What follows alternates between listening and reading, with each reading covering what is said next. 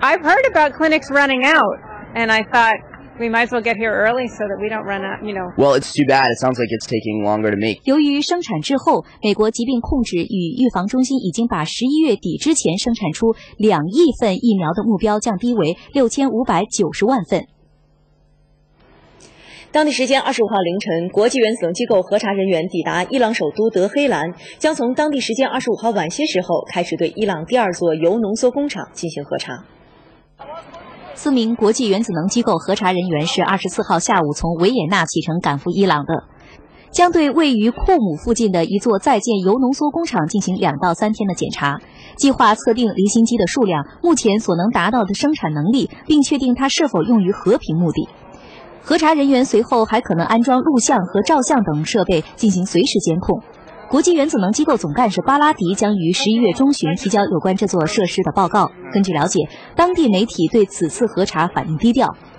伊朗原子能组织主席萨利希上个月发表声明说，伊朗已经开始建设另一座半工业化核燃料浓缩工厂。这一消息立即引起了美国等西方国家的严重关切，认为伊朗在积极发展用于军事目的的核计划，要求国际原子能机构对其进行核查。国际原子能机构总干事巴拉迪本月初访问伊朗，并与伊朗政府达成核查协议。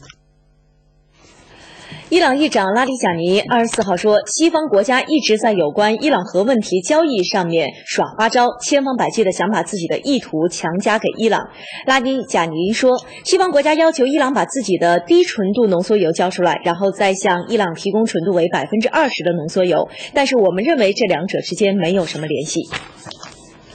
美国国务院二十四号发表声明说，朝核问题美国特使、美国国务院韩国科科长金城二十四号在纽约会晤了到访的朝鲜外务省美洲局局长里根。金城在会晤中重申了美国坚持朝鲜半岛无核化以及尽早重启朝核问题六方会谈的立场。据韩国媒体二十四号报道，金城与里根的会晤是为美朝双边会谈打前站。美国上个月宣布，在六方会谈框架下，计划与朝鲜直接对话，并将其作为重启朝核问题。及六方会谈的一部分。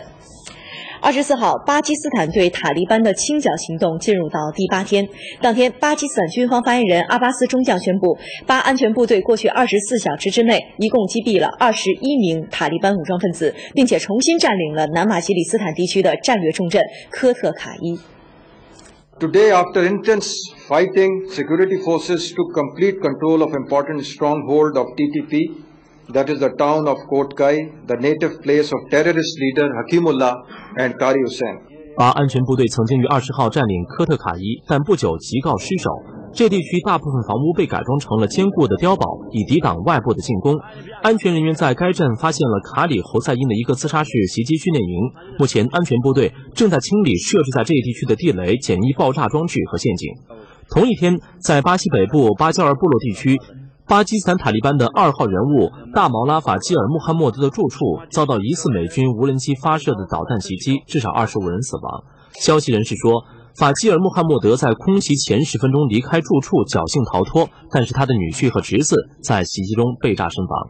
虽然目前巴基斯坦军队推进的速度已经超过了预期，但是由于地形复杂，推进速度将会逐步的放缓。目前已经有至少十五万的南瓦吉斯坦居民逃离家园。随着战事的推进，巴基斯坦官方估计这一数字还会增加二十万人。